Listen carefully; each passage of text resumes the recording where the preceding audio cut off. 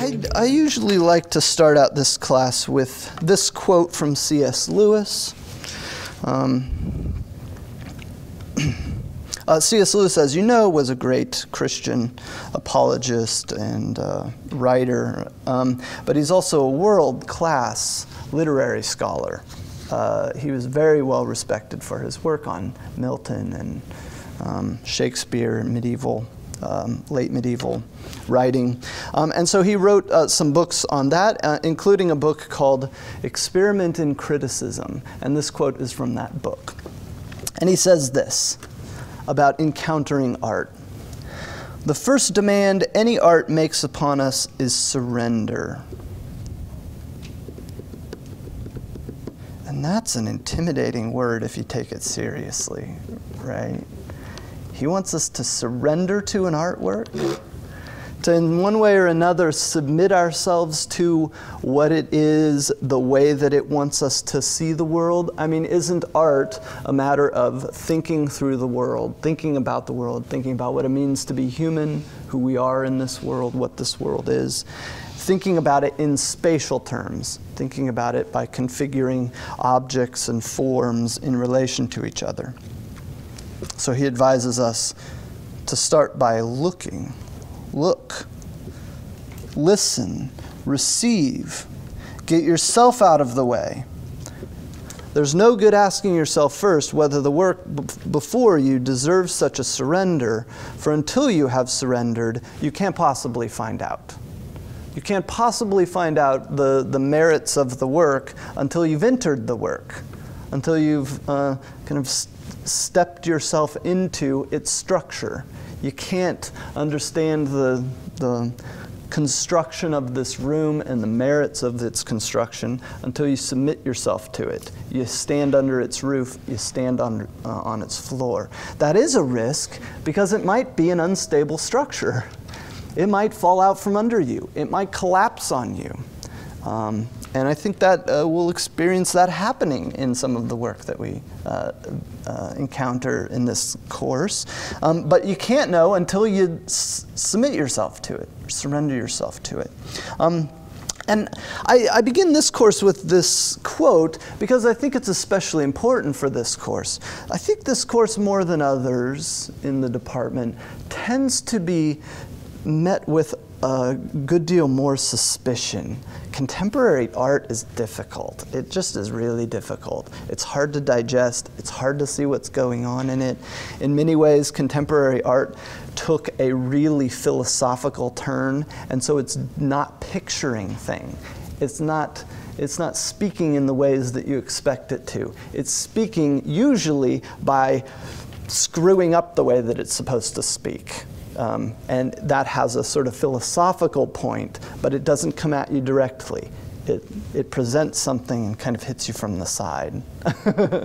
uh, so it's difficult. Um, but uh, I think um, if, we, if we kind of enter it together with this sort of giving it enough line, giving it enough benefit of the doubt to enter it, try to understand it from the inside, and, and then if critiques are necessary, and they probably will be necessary, um, uh, level those critiques from the inside rather than from the outside throwing grenades over the wall, which is, in all honesty, how um, Christians in the arts have operated for 100 years. I don't think so much anymore. 20th century, that was how we pretty much operated, throwing grenades over the wall without understanding what was going on. So, um, from C.S. Lewis, we'll, who was not shy to cri uh, criticize, um, certainly, we'll, we'll take this kind of injunction to enter, to submit ourselves to it, and try to. Uh, um, find out what work is worth um, continuing with and what is not. Um, for the rest of the syllabus, I'm pretty much going to let you read it on your own. I'll let you read the course objectives, the course overview. Basically, what this course will look like is um, some days we'll spend here, and the purpose of our days spent here is to build a framework. Um, a framework for understanding what's going on. Give ourselves some vocabulary, give ourselves some concepts that we can use to understand what's going on in those contemporary galleries and art museums. Uh, and then we'll spend uh, others of our class times going to those contemporary galleries and museums. That's a really important part of this class.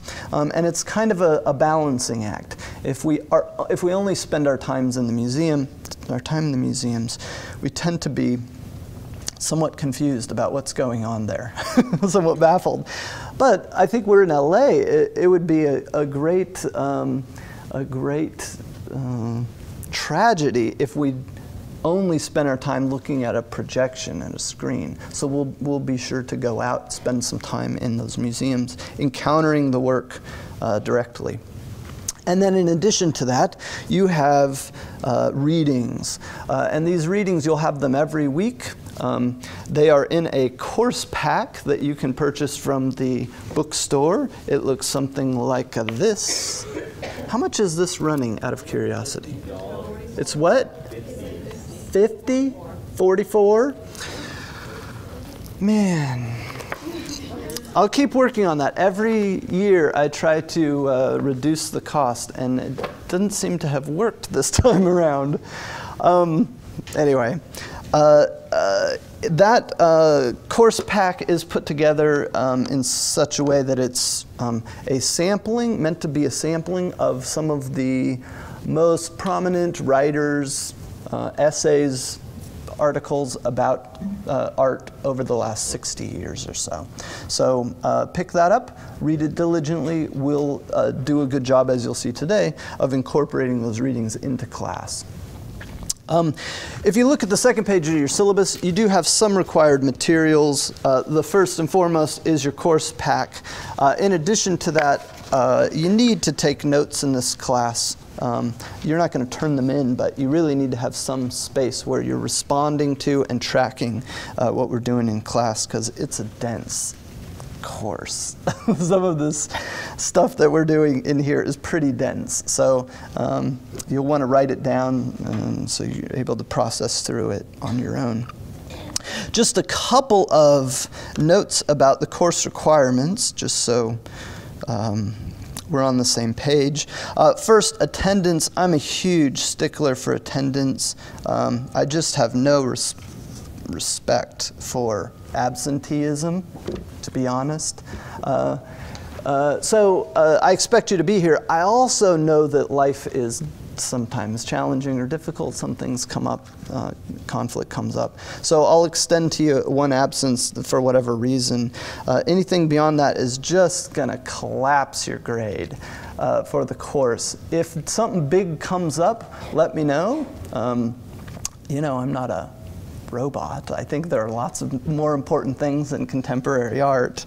Uh, so if something uh, major comes up, a tragedy in the family or what have you, let me know, talk to me about it. Otherwise, just be here.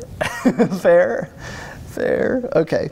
Um, as far as participation, uh, I really value um, your engagement. Really value it. So you are always welcome to ask questions. You're always welcome to stop me in the middle of something and, and launch a question or launch a, uh, a disagreement or a clarification. Sometimes, uh, sometimes I'll skip over steps in the train of thought, perhaps. That happens. Uh, so uh, back me up. How did you get from here to there? You're, you're welcome to uh, um, encouraged to participate as much as um, is necessary for you in this class um, because that's the way that we really digest and learn this stuff.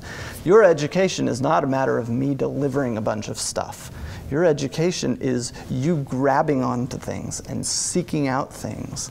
I'm just a facilitator for that. You're not passive. If you're a passive student, you won't learn much and it will just evolve into just memorizing of information or not memorizing of information. Either way, it's just information. And what I care about is not information.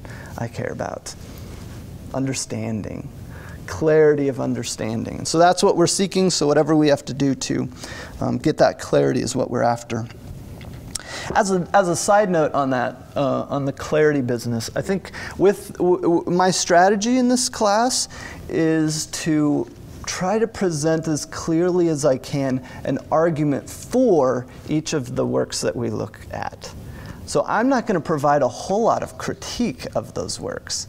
I'll leave that to you and to classroom discussion. So I, I'm, I may even say things I don't agree with, perhaps, um, as a means of presenting the most forceful argument for this or that artist, this or that way of thinking about art. And then we, we can dialogue about it. Um, I do put a couple notes in there. I just um, prefer that you are tuned in rather than tuned into phones or laptops or what have you. You'll have a couple of criticism papers to write in this class. We'll talk about that later. You can read over that on your own. You can read over those assignments on your own. I'll talk about them a bit in class at the beginning of each class as they come up, but uh, you can read over those on your own. Any questions on any of that stuff so far? No? Good. Good. You can read over that. Yeah, okay, you can read all that stuff. Um, the uh, course calendar, just to make a couple of notes on it. Um, what you see on the course calendar are uh, what we're doing for the day. Um, so it will either be in class lecture or a field trip. And you'll notice that the in class lecture is always divided into two parts. This class is scheduled from 10:30 to 2:20. now, uh, that gives us time to do field trips, um, but when we stay on campus, we're not going to uh, sort of be in class that entire four hours. Um, uh, we're going to take a lunch break halfway through. Um, I, I, guess in theory it's scheduled to be a 45 minute lunch break or so, so we have roughly three hours of in class time.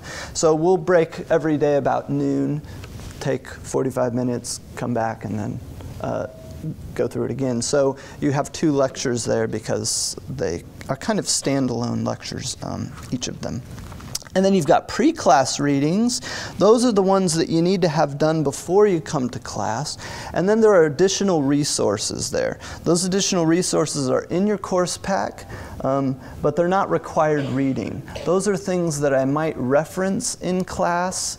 Like there's this article, there's this, and um, so I, I provide them to you if you want to take another look at them or if you want to um, spend more time at them, check out if I've done justice to them or, or not. Any questions on that? On the course calendar, syllabus in general?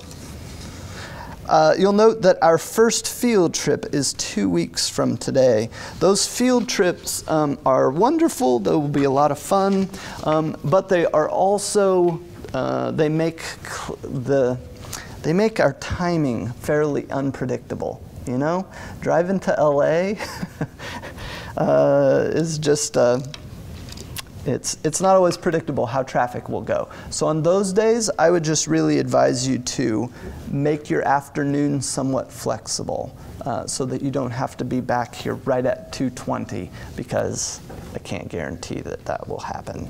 Um, um, also, regarding those field trips, we are going to have to drive ourselves, so uh, we'll just carpool. So, if you have a car and you would be willing to uh, drive on these field trips, uh, that would be wonderful. That would be great. Uh, think about it between now and next week, and we'll discuss it a little bit at, at the beginning of next class. Um, who can drive, and uh, uh, do we have rides for everyone?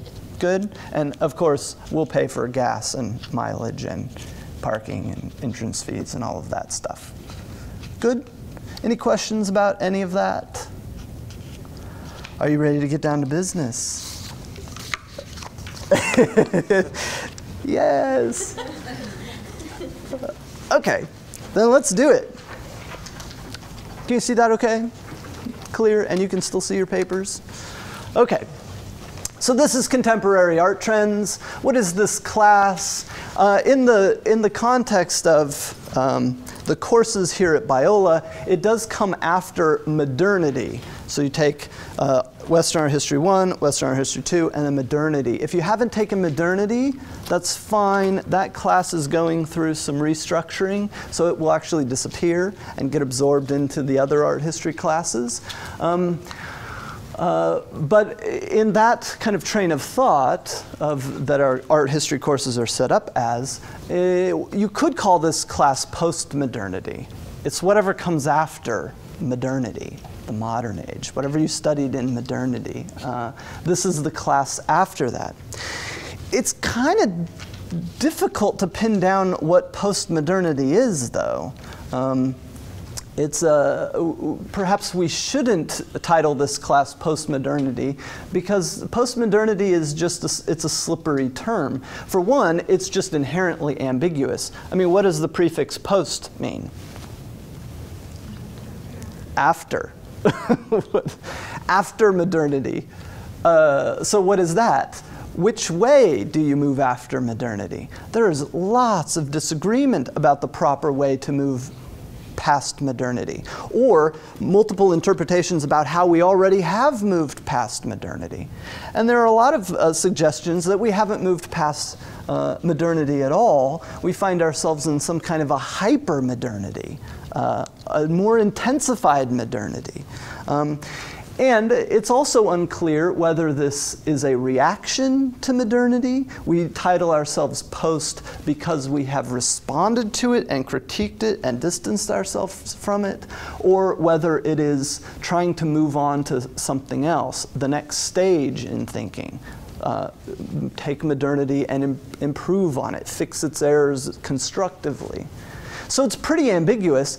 Uh, and beyond that, we might not want to call our, uh, our course post-modernity because there's lots of speculation that post-modernity might be over. there are all sorts of people um, uh, uh, today who are saying that we are in some sort of a post-post-modernity, which sort of becomes ridiculous. Um, or an alter modernity, something other. Uh, so we'll try to understand postmodernity in this class. Um, we'll try to understand what it is, what its features are, what its features are in art making. Um, but uh, we'll stick with the, the, the title uh, Contemporary Art Trends. Um, multiple trends, multiple kind of trains of thought that have been running through the last 60 years, 65 years of art making um, um, that we'll try to track. We'll try to pull out some of those major threads, those major trains of thought, and think through what they are. And, and thus, where are we in contemporary terms? Where are we in the train of thought? Okay, so that's what we're after. Oh, I put in here, uh, you know, if, if you're not clear about what postmodern art looks like, this is postmodern art. We'll, we'll get back to Joseph Kosuth and try to understand him later. Um, um, and once again, I mentioned that um, my strategy in this class is to try to present a, a compelling, a, a compelling case for the artwork we're looking at. And that will include trying to make a compelling case for post modernity and postmodernism. Um, now, once again, I know that that, that causes, that's, that's not always been a very popular term or concept around here, postmodernism. We might kind of find ourselves like clenching up uh, when uh, the teacher says, uh, this is a class in postmodernity, and I'm going to give you an argument for it. Um, but I think that's the honest way to reach clarity about it. Is try to present a, a, case for it, a case for what's been going on, and then we can kind of bat it around and critique it from the inside. Good? So that'll be, that'll be my strategy. Uh, our time before lunch, um, I want to try to understand modernity, get ourselves a running start into this class. And really, you could understand the first maybe two of our class periods as the, the late extensions of modernity. And then we'll try to understand the postmodern turn, the turn past modernity. Um, but if we're going to come to terms with what whatever postmodern is, we've got to come to terms with what the modern is, what modernity is. And once again, that's a pretty ambiguous term. Um, what is the modern? What do we mean by modern uh, modernity? And it's ambiguous because it tends to mean different things in different subjects, different disciplines, right? Um, I mean, in philosophy, if you study philosophy, you could start tracking modernity with the Enlightenment. You would kind of uh, equate it with Enlightenment thinking. Or you might back up even further and start with the Renaissance. Uh, basically, Renaissance to World War II as modernity. Uh, or maybe it's just, it's tighter, it's just the Enlightenment. Maybe uh, modernity is the beginning of the 20th century. Um, at any rate, it's, it's somewhat slippery, and it's also slippery within the arts because sometimes what we refer to as modernity in the arts is actually a reaction to modernity in philosophy or in politics or something like that, where we call ourselves modern artists uh, because it's the, the appropriate work to make in the modern period is one of reaction and resistance. But that means that modern art is actually sort of fighting against what we mean by modern in some of the other disciplines. It's somewhat slippery, but we're going to, for our sake, um, and this is fairly common within um, art history, the study of art history, we're going to think about modernity as starting sometime in the mid 19th century, 1800s, and extending up to World War II or so. It will continue into the 70s. Maybe we're still in modernity. But usually, what we mean by modernity, modernism in the arts, um, is um, roughly Impressionism through abstract painting, abstract expressionism, maybe into minimalism. So we'll, we'll talk through that. Um, I might also mention we may have to distinguish, and this may be helpful, to distinguish between modernity and modernism, and same with post-modernity and postmodernism. What is, what's the difference? What is an ism? When we say ism, what are we talking about? Usually. What's that? a belief, we could call it a worldview, a way of, a system of values, a system of ideas, a, a set of systems, ways of living life, um, uh, uh, specifically ways of thinking about life. I guess it would be worldview. That would be modernism. So perhaps what are the, what are the ideas in modernism?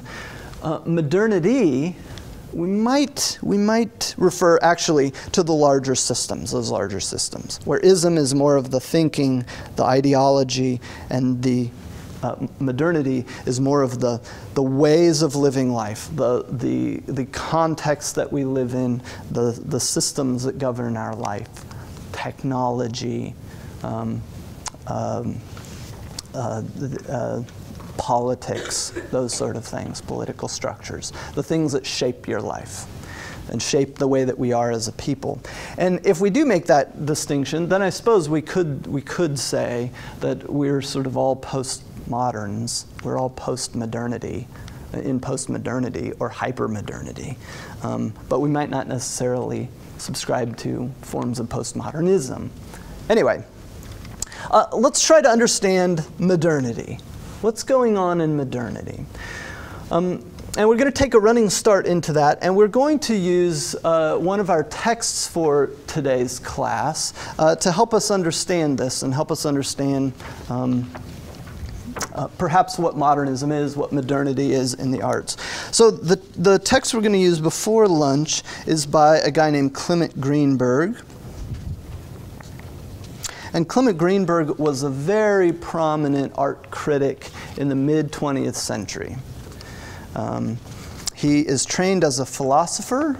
I think he taught at Columbia, off the top of my head. I should know that. uh, and uh, um, he was very prominent as a, an art uh, critic and very influential. Uh, and the essay that we're going to look at as a means of understanding what modernism, modern art is, is an essay called Towards a Newer Laocoon. Towards a Newer Laocoon. Um, what does that word mean, Laocoon? If we just look at the title, uh, this might give us some cues as to what he's doing. What is Laocoon? Have you heard that before? What is it? It's part of, he was part of the Greek myth, uh, or like he was part of, he was, he was a man, he was in Troy, and he and his son prophesied, and the god sent a snake eat him. There's a famous sculpture Yes, this sculpture. Yes, yes. Uh, so it's a, it's a, it's a. This is a Greek sculpture about a Greek myth, Laocoon and his sons, who uh, I believe you're right, were uh, members, citizens of the city of Troy, and uh, he was warning, don't accept that horse. don't let that horse into your city because uh, it's danger. It's not a gift, it's sabotage, right? You guys know the Trojan horse story. Um, uh, and in response to this, uh, one of the Greek goddesses, I think it's Athena maybe, uh, who wanted this to happen, uh, knew that Laocoon was sort of uh, warning the people, and so sent um, these snakes, this, uh, these deadly snakes, to uh, bite Laocoon, destroy he and his sons. Yeah. Sea serpents. Good. I'll, I'll agree with that. It's been a while. I should brush up on that before coming to class, huh? Um, at any rate, when Greenberg is referring to Laocoon, he is referring to the sculpture. And why is this sculpture so important? Uh, it's certainly important to the Greeks and to the Romans, um, but it became extremely important to Renaissance art making um, as well. Um, you have uh, uh, Pliny the Younger, who says of this sculpture, this is a work to be preferred to all that the arts of painting and sculpture have produced. This is uh, a, a um, has become a standard, the kind of artistic canon that, uh, that we should follow in Western culture, uh, in, in Western art making. This is, uh, for a variety of reasons, uh, at the pinnacle of art making. In its understanding of anatomy, its understanding of form and movement, its encapsulation of the human condition, and on and on and on. It is at the pinnacle of art making. So, what is Greenberg saying just with the title of this essay? What do we need today? A new standard, a new pinnacle of art making. Why? Why would he say that this doesn't work anymore? Why can't this be the standard?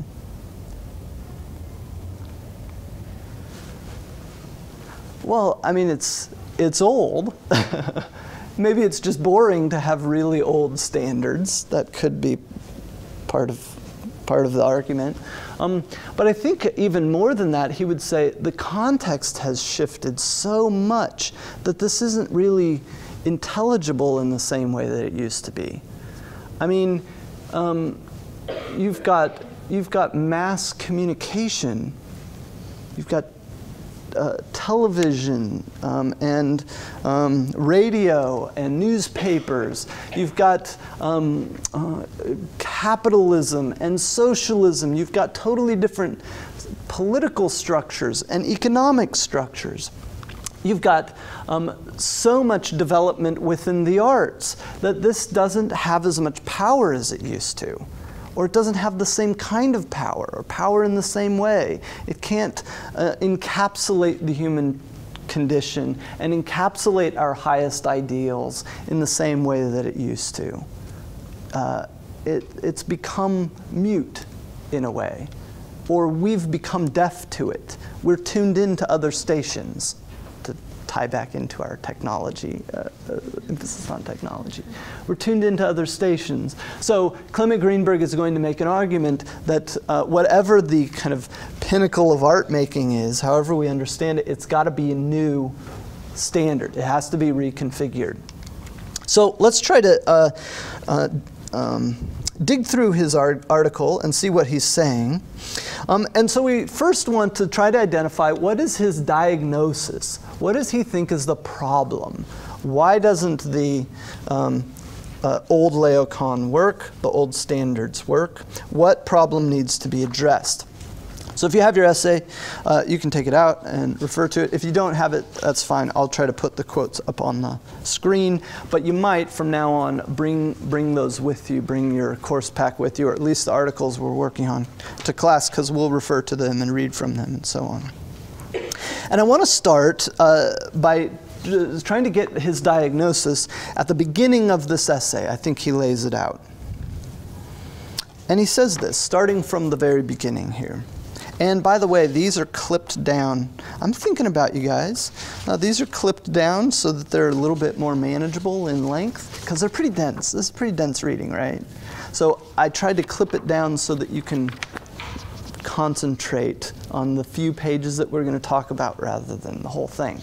That does mean, however, that if you're interested in this, uh, go, go back and read it, the whole thing at some point, and that may change your opinion. But um, I, am trying to give you only what uh, we'll talk about in class so we can maintain focus.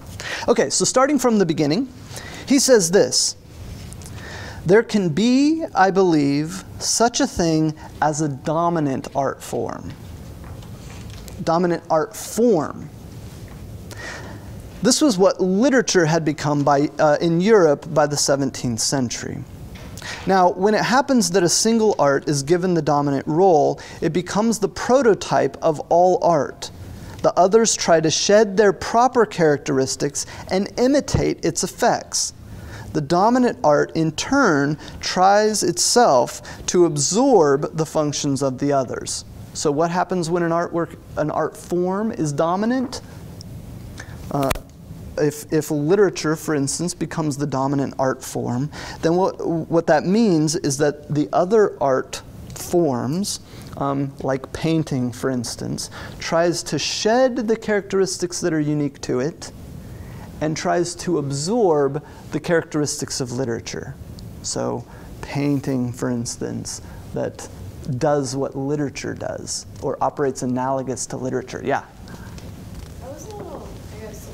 To to say that just because I don't know it's I'm just wondering why that was the case um to to say that because it seems like painting has been such a primary art form. Ah. And is it is he saying this because most art was narratively based, or like I guess can there be art that is narratively based with a literary property or quality that is still properly uh, yeah that's a good question. Uh, so, so, the question is uh, did you all hear? Okay yeah.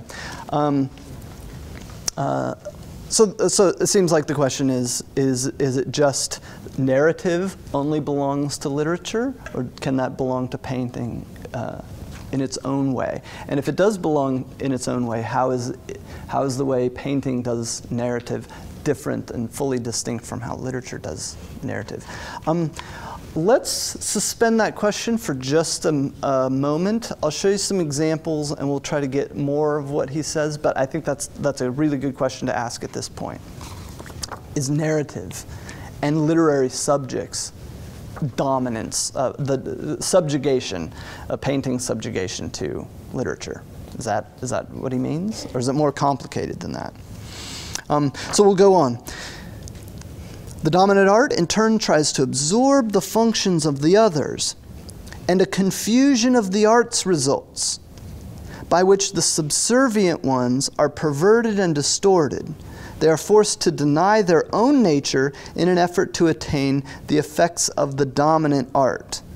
However, the subservient arts can only be mishandled in this way when they have reached such a degree of technical facility as to enable them to pretend to conceal their mediums.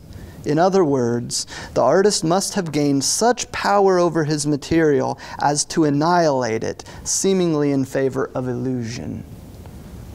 So, uh, just to um, make sure we're tracking with him, what is his diagnosis? In his words, um, if one art form is given a dominant role over the other art forms, then what results is a confusion. And he, he's, I think what he's after is trying to correct confusions the confusion. That's sort of what drives him. We'll see uh, later on next week. He's very interested in Kant, Immanuel Kant, who's trying to make the disciplines of reason and aesthetic judgment and so on um, self sufficient. Totally self sufficient. So they're not being confused and all wrapped up and muddled in other, in other um, uh, disciplines. So he's trying to correct a confusion by distinguishing what's specific and unique about each of the art forms. He's, he, and, and as long as one art form is dominating the others, the confusion persists. And what does the confusion look like? It is it looks like the subservient ones, like painting or sculpture, being perverted and distorted so that they are forced to deny their own nature in an effort to attain the effects of the dominant art, literature. They behave like literature, and they can only behave like literature when they cease to cloak and withhold the way that, that, that they really are in themselves. And as he says, how, how does this happen? How do they cloak themselves? It is by concealing the medium itself. The medium itself. So, what's the medium of painting? Paint and wood and canvas, something flat, an object that hangs in a room. Um, the stuff that the thing is made of, um, the, the mediums of, uh, or media of sculpture would be the, the, the stone, the wood, the plaster, whatever it's made out of. Um, and as long as those are concealing themselves in order to represent something else or behave in a, lit- a, literary way, then they're always wrapped up in this kind of illusion where they are presenting something other than themselves. Okay, does that make sense as his diagnosis? What he sees as a confusion, something wrong, something off. And what is he what are his examples? He doesn't name names so much, but we could certainly find examples all over the place, right? When you look at this, what do you see? What is this? The death of Socrates? Greenberg would say, You're already confused. This is not the death of Socrates. This is paint on canvas. And precisely what it's doing is concealing itself or being arranged in such a way that what you think about and pay attention to, the way you're impacted by this painting, is not uh, the paint itself, the medium itself. Rather, you're launched almost immediately into thinking about Socrates and his his um, what voluntary suicide execution, right? Um, I would rather die and hold true to the good, the true, and the beautiful than to renounce it. So I'll take the hemlock. And Greenberg is saying that whole discussion is uh, is subservient. It's painting acting as a handmaiden to literature, right? I mean, very directly in this case, it's painting serving um, Socrates. it's literature uh, uh, very directly. It's written form as being more important and more um, uh, dominant than the painting itself, the visual effect of the thing itself, the forms themselves. It's so hard to see these forms without seeing flesh and seeing fabric, seeing stone.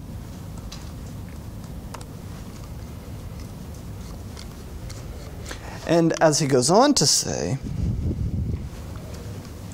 uh, on the uh, opposite side of the page over here, right hand column, about halfway down.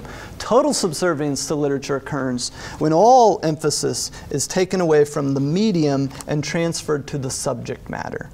And that's what's happening in that Death of Socrates painting. What is, what is medium? That's the paint, the canvas, that sort of stuff. What is subject matter? What it depicts, what the painting is of. Socrates, for instance. So when the emphasis is taken away from the medium and transferred to the subject matter, um, I think that's what he would say is subservience to literature. And that kind of gets back to Amy's question. I think Greenberg would say that narrative of any kind, and I think he might even go so far as to say representation, subject matter at all, is subservience to literature. I don't know if that's fair. Uh, simply because I don't know that, I mean, so what is literature? I mean, what isn't isn't literature I mean, I think we would be fairly disappointed if we were to read a book and only draw our attention to the medium and not the subject matter. I mean, I think what he's calling for in painting is analogous to uh, a book that doesn't say doesn't it's not it doesn't say anything. It's just forms on paper, right? So maybe in his scheme, literature is subservient to something else. So it's not necessarily the painting is subservient to literature, it's that all of them are behaving as media. I mean, he might have a point in, in, a, in an instance like this, where clearly the subject matter is derived from literature. I don't know. Yeah? It almost sounds like to me that he's like taking away from what the art actually is, almost like Dadaism, where it was about like being nothing. He's like simplifying it to being like, it's just the paint or just Yeah. words on a page Yeah. instead of like trying to convey a message, which is like Yeah. to me what I think of most artists is doing, like the death of Socrates, like they're trying to like depict a story, which is the literature thing. Yeah. Exactly, Mm. exactly what he's talking about, but it's almost like he's trying to take away from that, as if like he's mad or almost jealous of what the artists are doing. like I don't know. Yeah. That's what Made me, Yeah. Think of he's trying to simplify it and be like, why are you trying to Yeah. do all these other things? At least that's yeah, was yeah, my first yeah, impression. yeah. Uh, that you're um, the way you're reading Greenberg's train of thought is that he is basically making the paintings meaningless. He's trying to drain them of meaning. Almost or just Yeah. simplifying it to being what it's made out of. Yes, yes. The artists were trying Yep. to like. That's right. And initially, that's going to cause a sort of knee-jerk reaction in us, like, "Oh, why are you why are you draining the thing of meaning?" Um, I, what he's going to argue, and we'll see this more next week, is that um, I think he's actually going to say, would say, um, that the way that it means has to change. If the way that you see a painting meaning, carrying meaning, is through the narrative and the subject matter that it conveys, then yes, I am draining it of meaning and un- unraveling its meaning and trying to withhold its meaning. But I think he would say that is positioning the meaning of the painting in the wrong place. We're going to try to uh, understand the way that a painting can mean in a different way, not narratively and not in terms of subject matter. And what we'll see, second half of this class, is that if you don't have meaning or um, uh, not meaning, if you don't have narrative subject matter as a way of make, having the painting mean something, what do you have left? You have the meaningfulness of form, the construction of form, and you have the meaningfulness of artistic action, artistic engagement. And what the artist is doing and the way the artist is present in the world and present to the canvas is a way of, is meaningful. And so he would say, mm, if you regard what I'm saying as a, a prescription for meaninglessness, you have you you are still you're stuck in the old Laocoon. Yeah. well, I was almost gonna say like maybe it's good because we're almost trained to think too hard about what we're looking at. Ah. Like we surpass the simplicity of like what they've done with the colors of the forms. Yeah. They're saying and we go straight to, Ah. you know, Socrates. Yeah, yeah, yeah, yeah, yeah, yeah, Instead of looking at the appreciation for yeah. the artist's process or Mm. you know whatever what have you. Yeah, that's right. That in a way, he wants us to back up a step and regard. I mean, he might say that this painting, if it doesn't mean Socrates and that whole virtue and all of those things, if it doesn't mean that, then we regard it as meaningless. He would say, Ooh, and maybe he would say, I'm putting these words in his mouth. He would say, Ooh, you're a nihilist. because you think that form and color and medium and the activity of an artist is meaningless until we tack meaning onto it. He would say, then you believe in an essentially meaningless world. It's, it's humans constructing meaning. That's, that's, in a sense, nihilism. He wants to back us up a, a, a step and say, nope, already meaningful. This, already meaningful, if you just let it impact you. Uh, and, and so the confusion of the arts is one in which painting doesn't get to mean in the way that painting can uniquely mean, the way that it can mean something um, that literature can't, that it can't do it. So he wants to uh, revive the meaningfulness of painting as uniquely meaningful in ways that the other, that music isn't, or that um, uh, literature isn't. Yeah? So it's just focus more on the relationship between the artist and the, and the medium? He's going to focus on that, yeah. Um, but he's going to, I think he's going to put even more emphasis on the, meaningfulness of form. Yeah. So it's action, the relationship between the artist and the canvas. Uh, and we'll get into that a lot second half of class, but it's also form itself. How does form itself, the construction of form, carry meaning before there's any narrative or subject matter attached to it? So would you say he's like more about the process? Yeah, process. That's going to be important to him. Mm-hmm. Okay, so what he wants to do is, if this is subservience, taking emphasis away from the medium and putting it on to subject matter, he's going to try to reverse the flow and reverse the emphasis from subject matter, downplaying subject matter, and upplaying the medium, emphasizing the medium. And a couple more examples. I mean, he mentions the 17th and 18th century as being the kind of height of the concealing of the medium. I think it extends quite a bit later than that, uh, well into the 19th century, where you have a painting like this and it's just hard to look at it as a painting. As, as paint, as medium. You're so immediately um, uh, thinking about and feeling seduction temptation, fleshy bodies tempting this uh, satyr, and so on. Um, and that is what uh, Greenberg will refer to as the, the sort of withdrawal of the medium for the sake of the subject matter. In some sense, the medium, the paint becomes invisible so that we're able to see bodies. Because it's really hard to see both at once, isn't it? both paint, flat surface, and bodies. Yeah.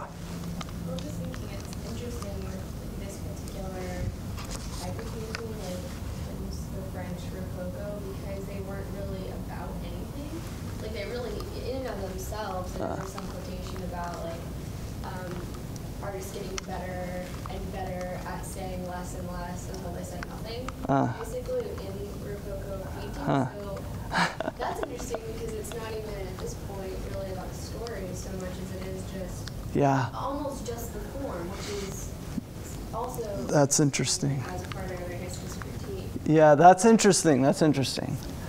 Uh, that in a way, this this is the sort of uh, sort of early movements towards Greenberg, in that it's about feeling and sensation of the forms. It's just that Greenberg would say, well, if that's what it's about, why are you messing around with nymphs and satyrs and things like that? Why flesh and body, you know, all this illusion?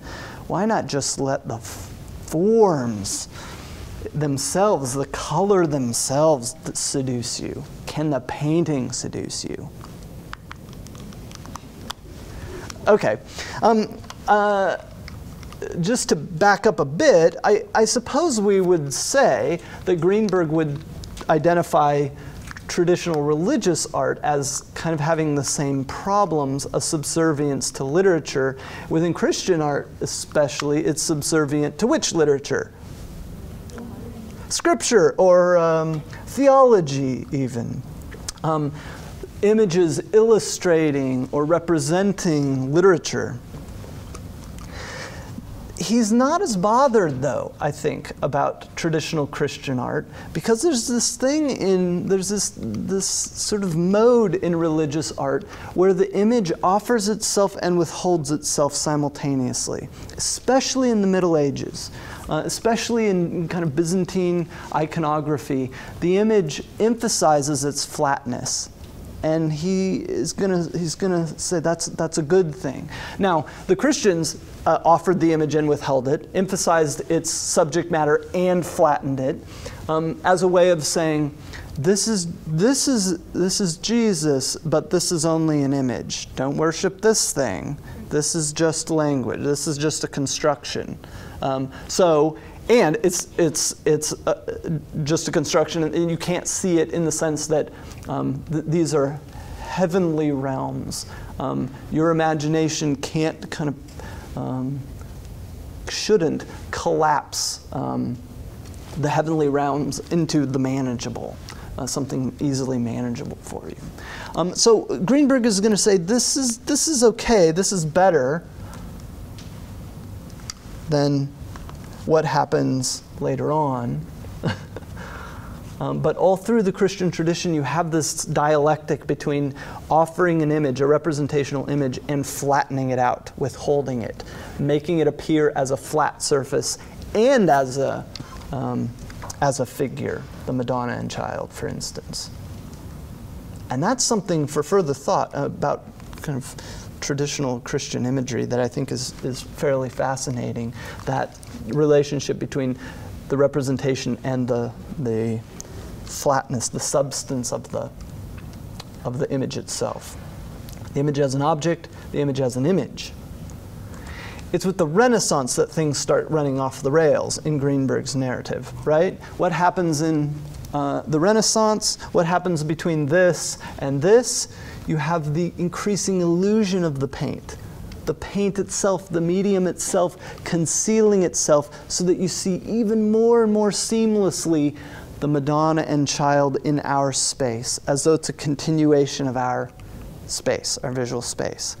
And, and he is, of course, going to say or, uh, or regard this as the transition from emphasis on medium to subject matter. And once you're there, then you have uh, painting becoming totally subservient to literature.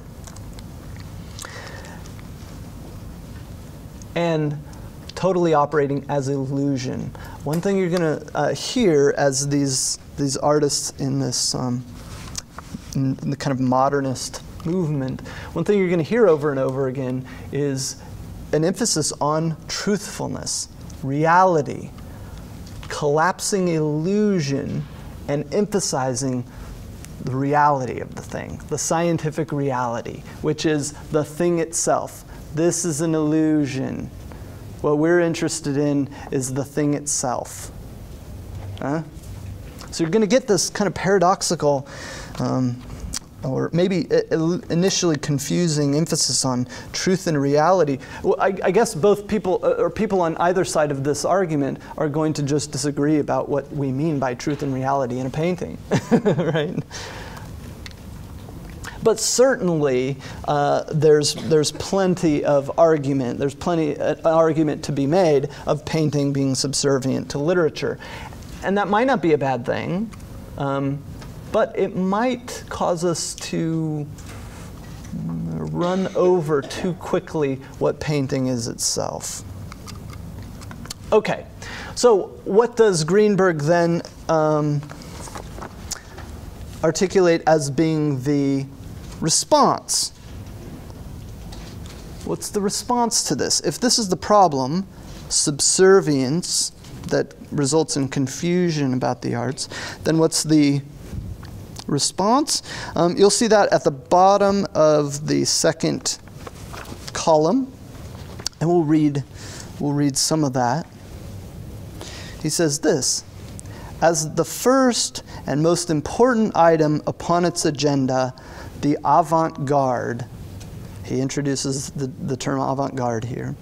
As the first and most important item on its agenda, the avant garde saw the necessity of an escape from ideas which were infecting the arts with the ideological struggles of society. Ideas came to mean subject matter in general, subject matter as distinguished from content. Oh, that's going to be important. We'll sort that out here in a bit. Um, ideas came to mean subject matter in general. In parentheses, subject matter is distinguished from content in the sense that every work of art must have content. It must be meaningful. But that subject matter is something the artist does or does not have in mind when he is actually at work. This meant a new and greater emphasis upon form, and it also involved the assertion of the arts as independent vocations, disciplines, and crafts, absolutely autonomous and entitled to respect for their own sakes, and not merely as vessels of communication. It was the signal for a revolt against the dominance of literature, which was subject matter at its most oppressive. That's kind of dense, isn't it? Did you get any of that? We'll sort through it, what he just said, because uh, it's important uh, to understanding um, his take on what the modern is. First, it's important to point out that his response, what he sees as the response to this confusion, is the avant garde. Have you heard that term before? In modernity, I imagine you covered that term. What does the avant garde mean? What does the word mean? What does the term mean? Avant is forward, and guard is guard. uh, so, what does it mean? It's a French term that means the advance guard or the forward guard. It's a military term, right? Um, there's in, in kind of military movements, uh, the rear guard are the people who are in the back, making sure you don't get ambushed from the back, sort of following up, protecting the, the kind of main, the main group from behind. So, what is the avant garde then, or the forward guard? Those who are out in front of everything. They see what's coming. They see the dangers, they see the landscape, they see the terrain, they see what's coming before anyone else. It's kind of self congratulating term, really, to title yourself the avant garde. But basically, it is the, what the avant garde do is they are the artists who are out in front and they see what has to happen and they see how things have to change and how the whole community, the whole army, the battalion needs to change direction to avoid further error or what have you. So, who are the avant garde in 20th century art criticism and in Greenberg's use of the term? It's those artists who are out in front who are working towards the newer Laocoon. They're going to uh, art- articulate and identify what the new standards are going to be and what the new way of meaning in art is going to be. And he gives us some very specific jobs for the avant-garde to do. And at this point in 1940, he's, he's partially, I think, prescribing what artists need to do, but he's also identifying what they have been doing. What has the avant-garde been doing? And he gives us a couple things in that passage we just read. First, they need to remove subject matter from art by distinguishing it from content. Right? He says in that passage that I read, Ideas were infecting the arts. Infecting. but ideas, what I mean by ideas, ideas came to mean subject matter. But that's not the same as content, is what he wants to say. What is subject matter? We've already defined it. It's what a painting is about, or what an artwork is about. Uh, the sculpture that we were looking at um, is has the subject matter of Laocoon, right? But what is content? What does that mean? What does the word content mean in art? What's actually depicted? What's depicted? Yeah, depicted is gonna is gonna fall back into subject matter. What's depicted? What it's about? Uh, the, what it what it images? The scene? That would all kind of funnel back into subject matter. Yeah. Form of it, like the movement of lines, movement of color, like. Good. even of like the action of, it's like the, like the action of the artist that's left on whatever. Sure. If it's a painting, like, Yeah, yeah. Okay, good. So the, the kind of uh, bigger, uh, it's bigger containings. Yeah. Uh, Evan, did you have a? Yeah, I was gonna say like it's it's what the painting is actually saying. Ah. Okay, good. What it means. Yeah. Okay, good. Uh, Taylor, did you want to add on to that? With her definition, how that differs, or what form is exactly. Yeah, yeah, yeah. I, I think I think what he is meaning here uh, with content, and usually what it, it means in this this kind of art discussions, is that the content is it, when it's distinguished from subject matter is the meaning, the meaningfulness of the thing, and that. Um, you're right to say form and what it contains more broadly, because that's where he's going to put the meaning. But when he distinguishes subject matter from content, he's distinguishing what is pictured from what it means, how it means. So, what he's going to say is to get back uh, to an earlier point, what he's going to say, uh, what he wants to do, is to, is, is to say that. Um, if we remove subject matter from painting, we haven't removed meaning. We haven't removed content. When we remove ideas from painting, which he's going to say, he's going to, what he means by ideas, he says, ideas become attached to subject matter. So, ideas are what you're trying to depict. I've got this agenda that I want to communicate, and that's, that's what the idea is or the subject matter is. But he's going to say that's not what it ends up meaning. The meaning is bigger than that. Meaning isn't necessarily tied to what you want the work to be about or what you're depicting. After all, there are a million ways to depict the Madonna and child, same subject matter, and have them come out meaning totally different things, totally opposite things.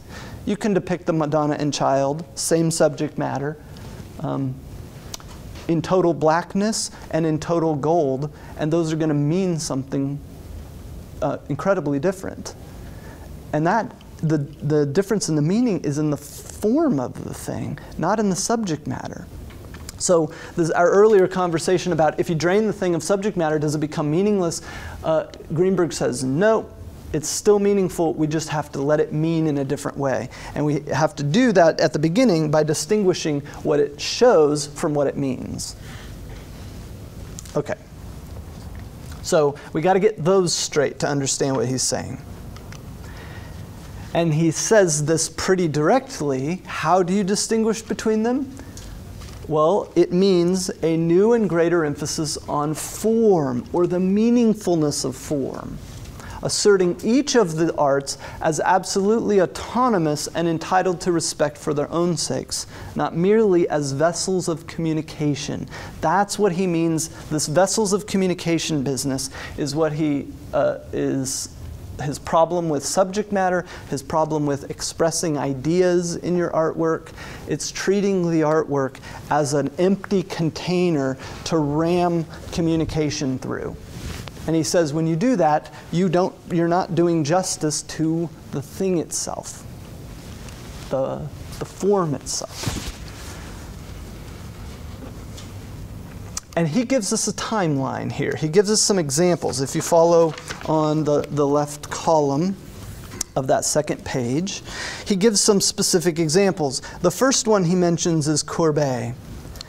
Greenberg says that uh, Courbet is, in, in many ways, the kind of first avant garde painter. In fact, he says this directly. He says Courbet, the first real avant garde painter, tried to reduce his art to immediate sense data by painting only what the eye could see as a machine unaided by the mind. Right? You know the famous quote from Courbet. He was asked, um, why don't you paint angels? Why don't you paint religious scenes? It's like show me an angel, show me, I'll paint an angel if you show me one. Yes, good. If you show me an angel, I'll paint it. I'll paint anything that the world pres- presents to me.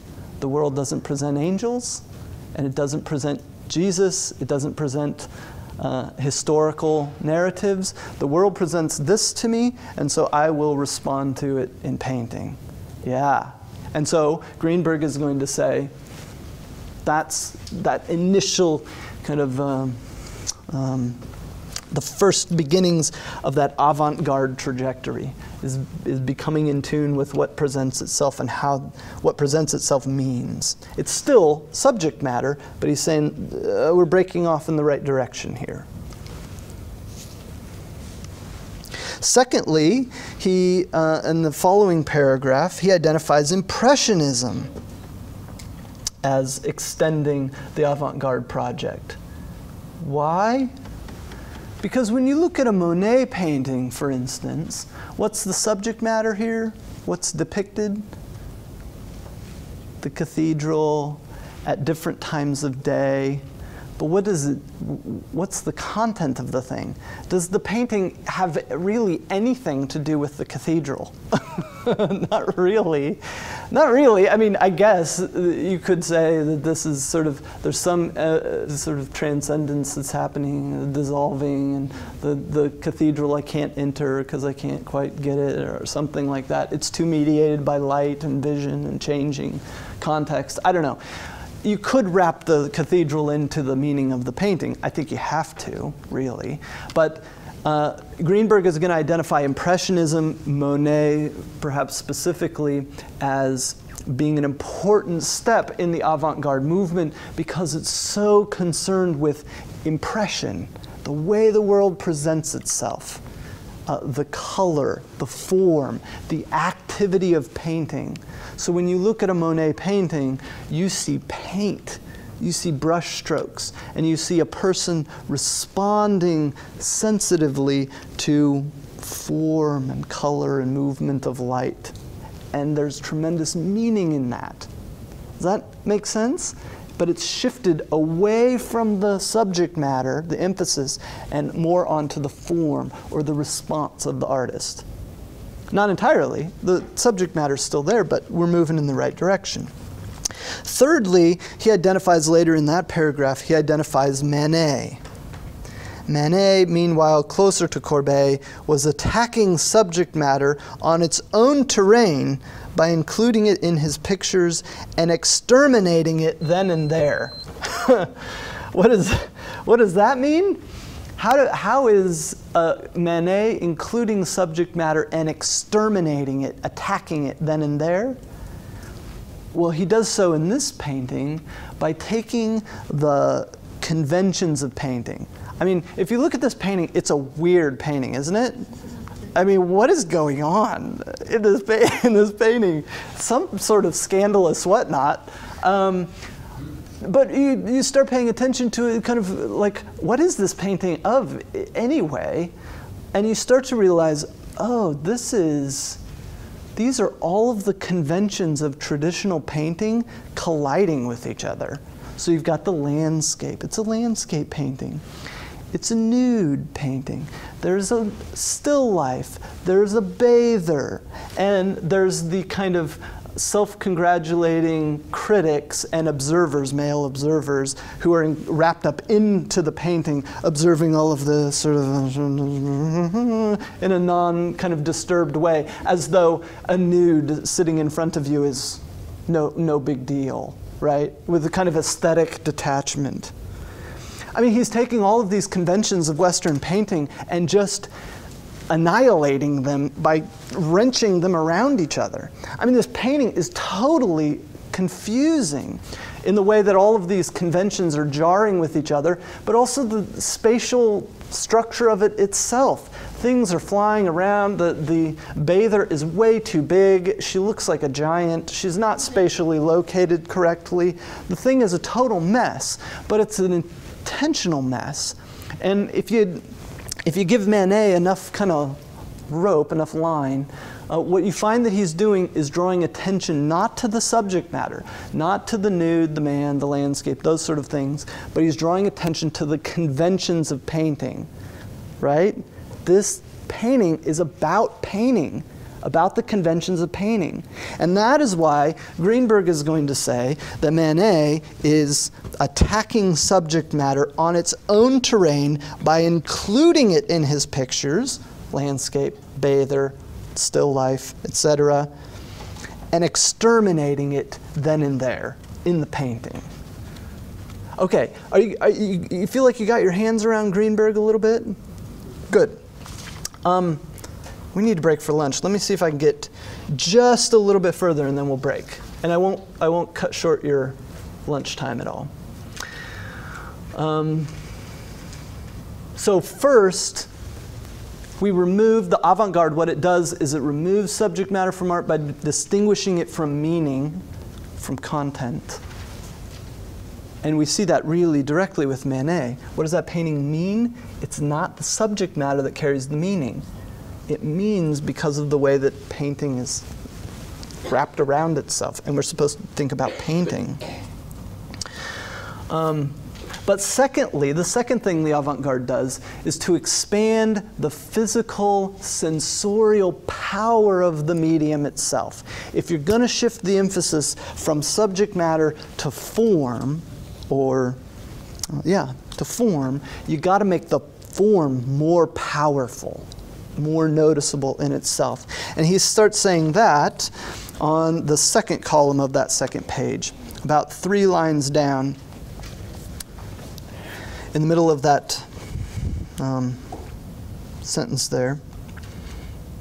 Uh, he says, uh, there's a common effort in each of the arts to expand the expressive resources of the medium, not in order to express ideas and notions, to use it as a vessel of communication, but to express with greater immediacy sensations, the irreducible elements of experience. He wants you to have a sensory experience in front of the painting and to be in touch with how uh, sensations can be meaningful to us.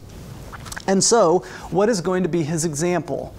What other art form does this really well? Carries meaning through form without subject matter or without uh, subjugating itself to literature?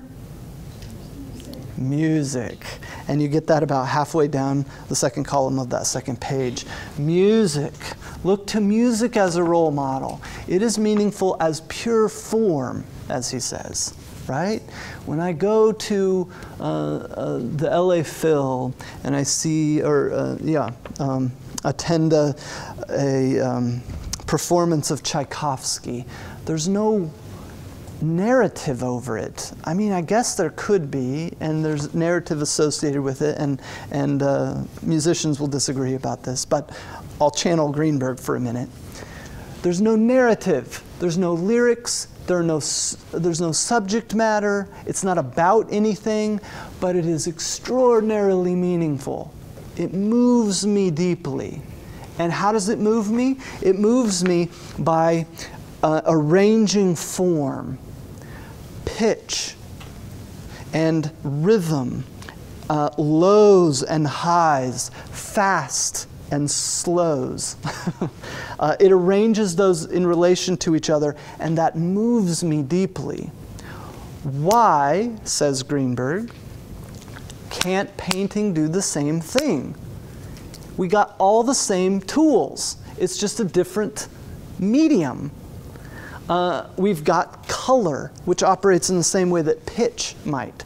We've got rhythm uh, in painting. We've got rhythm in painting. We've got um, uh, fast and slow. We have expansion and contraction. We've got all of that in painting. Why do you need to sort of muck it up with subject matter?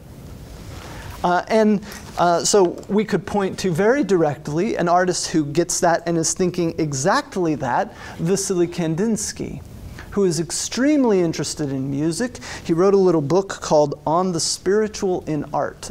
It's a, it's fascinating little book where he talks about the avant garde and he points directly to music and he says, look, painting can do everything music can do as long as we st stop um, uh, attributing the meaning of the painting to only what it pictures, if you just back off of all of that and you let the color and the form work, it can operate as a musical composition or in an analogous way to musical composition. They're, they're using, and that's an important point, they're using music as a role model, not as what painting should imitate. You shouldn't have painting imitating music now. You should just have painting saying, well, music can do it. Why can't painting do it? Right?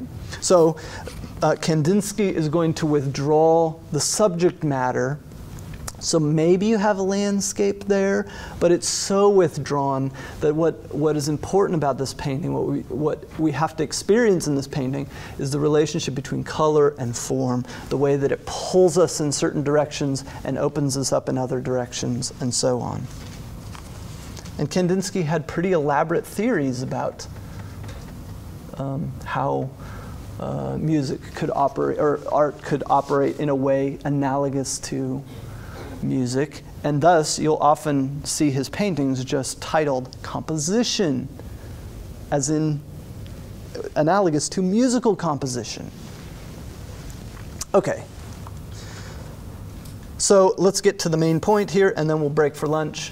What is the thesis then? So we've been tracking Greenberg's essay. We've been identifying what he sees as the problem, the diagnosis, what the response is, the avant garde is the response. So, what is the thesis? What does he say is the, the main point here, the main argument? Um, ooh, yeah. Mm. Um, I think we get that on the uh, third page, on the first column underneath where it has the Roman numeral 5. A few lines down. The arts lie safe now, each within its legitimate boundaries, and free trade has been replaced by autarky, meaning self rule. Purity in art consists in the acceptance, the willing acceptance of the limitations of the medium of the specific art. And then jumping down just a bit to the next paragraph. The arts then have been hunted back to their mediums, and there they have been isolated, concentrated, and defined.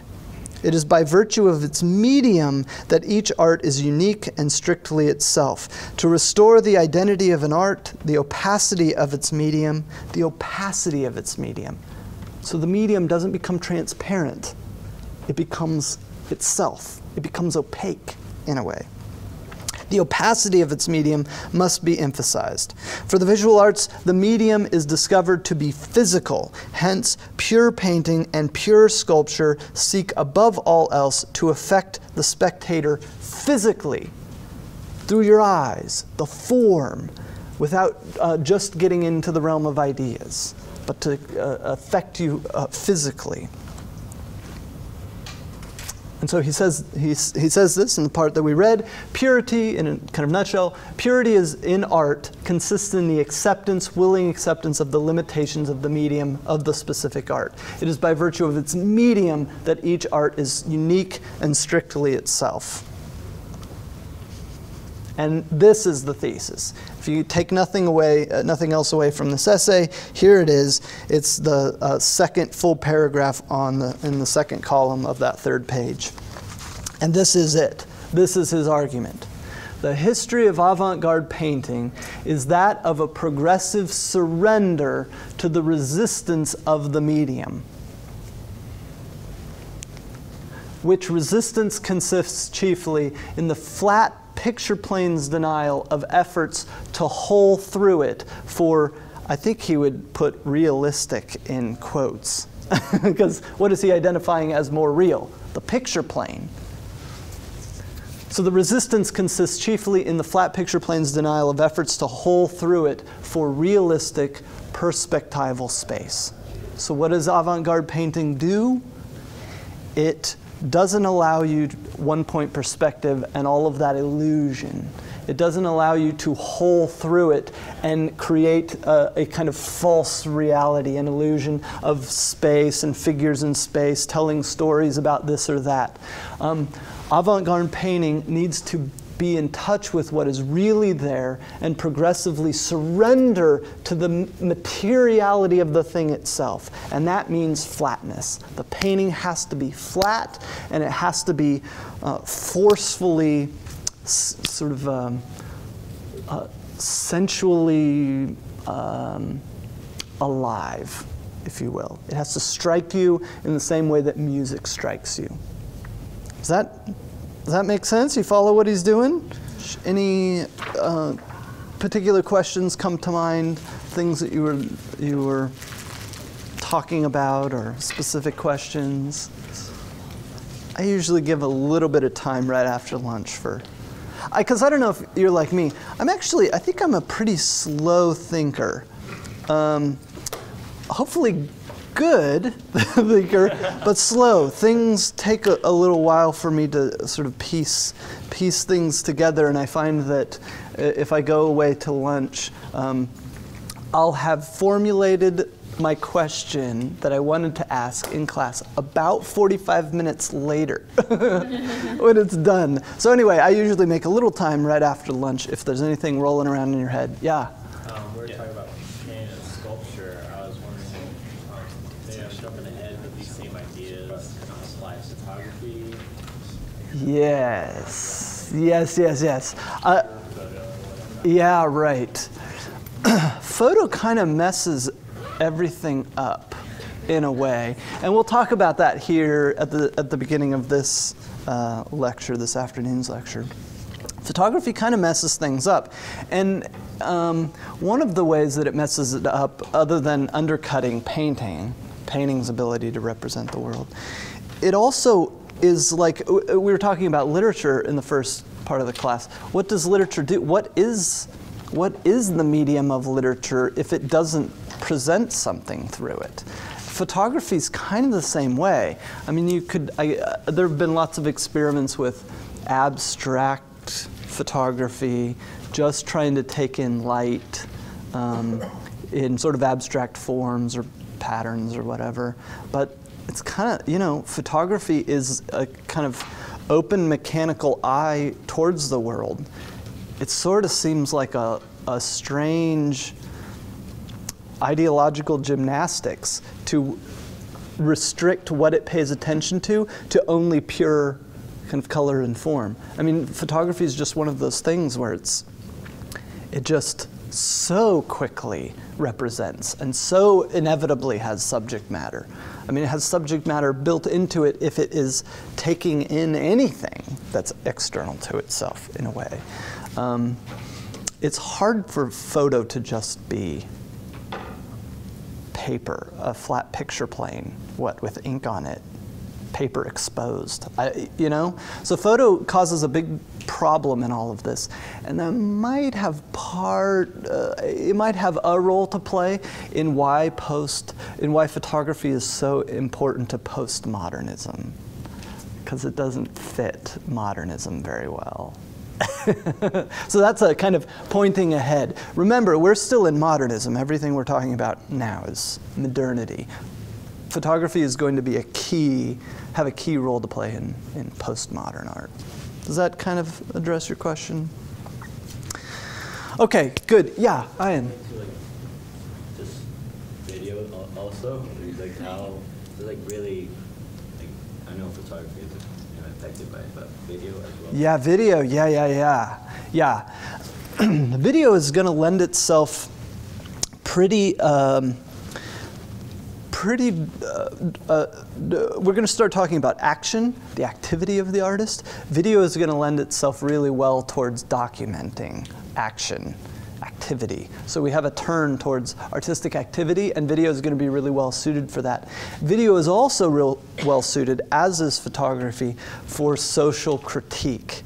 Both of those are reasons why it's important to why they those mediums are important to um, postmodern art making is because you already have so much use of photography and video in advertising, in commercial work, that once artists take those up and start subverting them, criticizing the way that they're being used in advertising or in the kind of broader culture, um, uh, they're going to be really potent media for doing that, right? In a way that painting isn't. I mean, what you know, how does how does painting do social critique? It doesn't have. Not enough people look at paintings for it to have any kind of social criticism or a whole lot of it. Whereas if you take up the media that are so um, so much a part of everyday life, like photography and video, if you take those up and you work inside of them, you've got, you've got a lot more potential for social critique because they're already in social use. Does that, does that make some sense? That's kind of foreshadowing where we're going with postmodernism, talk of the postmodern. Both great questions. Okay, let's, uh, let's jump back into it. Biola University offers a variety of biblically centered degree programs, ranging from business to ministry to the arts and sciences. Visit biola.edu to find out how Biola could make a difference in your life.